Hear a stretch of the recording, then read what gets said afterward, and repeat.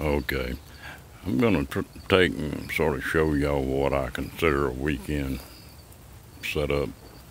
This is my setup I used the last camping trip. Got a little bit of a canopy on the front of this tent. And uh, pretty nice to sit outside. Got a little cooler, little drink. Not too bad.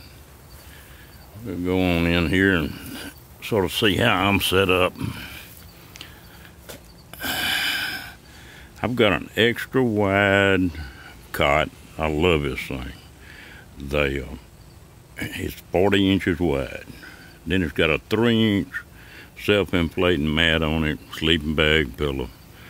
They, um, it's just a comfortable deal, and it, it's a little bit taller. It's just right to sit on. We'll go on in here.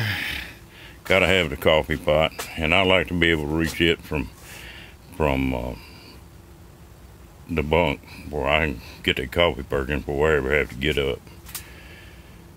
Nice comfortable chair inside. They it just makes a a really good camping setup. It's a comfortable camping setup. The, I want to sort of show y'all what I had here. You can camp with this thing out of a car, pickup, motorcycle. My motorcycle brought all this gear in here, and uh, it, it, packs up pretty compact. You can do this in a little bitty foreign car, whatever. But I just want to show you sort of what was in this thing, and we'll uh, we'll get you a little bit better video with some more camping next time I go. All right, bye.